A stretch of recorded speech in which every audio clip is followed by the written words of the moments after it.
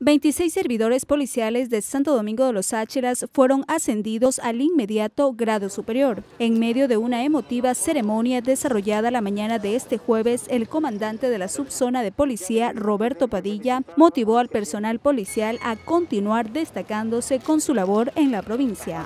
Y para los que se quedan, porque es un orgullo inmenso ver la sonrisa de su familia, compartir estos momentos que se dan cada cinco años, pero por su merecido esfuerzo.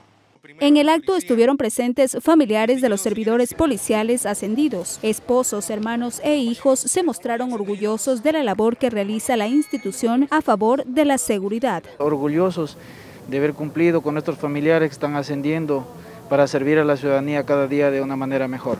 Aquí acompañando a mi hermana en su... Para que fundamente este importante acto, invito muy comedidamente a... De cabo segundo a cabo primero.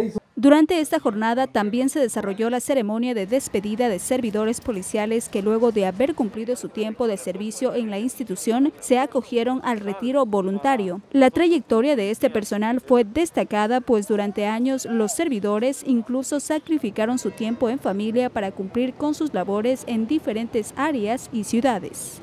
A los servidores policiales que supieron brindar su servicio a lo largo y ancho de la patria durante todo este tiempo donde han sacrificado a su familia para brindar la seguridad y protección a nuestra ciudadanía.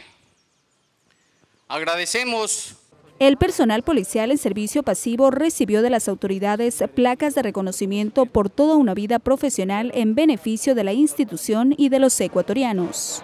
Con imágenes de Jonathan Saracay, Jennifer Ramón, Saracay Noticias.